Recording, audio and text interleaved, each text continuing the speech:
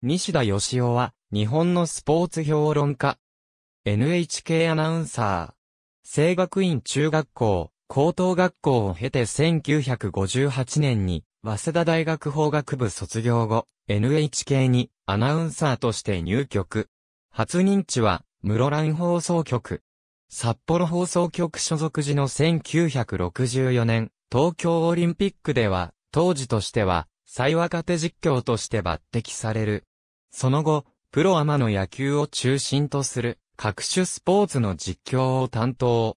1978年に放送を開始した、スポーツ対番組、スポーツアワーのキャスターを務めた。その後、サタデースポーツ、サンデースポーツで、キャスターとして活躍。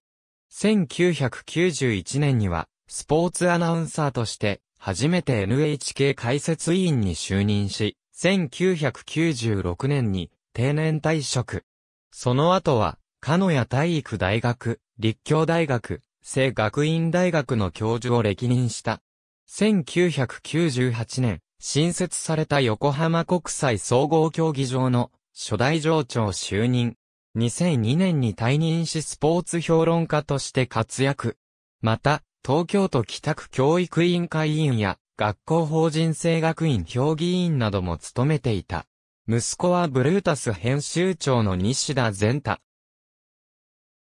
2016年2月27日、心不全のため死去。80歳没。初認知に、室蘭放送局を希望した際には、大先輩の志村清純から、君、なぜ、室蘭を希望したの？と不思議がられて尋ねられたという。1976年のモントリオールオリンピックでは、女子バレーボールの決勝戦のテレビ中継を担当、新、東洋の魔女と言われた、山田茂雄率いる日本女子代表の優勝を、笑顔の優勝です。泣かない優勝ですと、実況したことで知られる。そのバレーボールでは、日本バレーボール協会公認審判員の資格を取得しており、若手アナウンサー時代には、学生バレーボール大会の審判を務めた経験があることを語っている。また、アイスホッケーの実況でもおなじみだった。特に1980年の第13回冬季オリンピックレイクプラシッド大会では、後にミラクルオンアイスと呼ばれ、世界のスポーツ史にも伝説的な試合となったアメリカ合衆国対ソビエト連邦戦のテレビ中継の実況アナウンサーを担当している。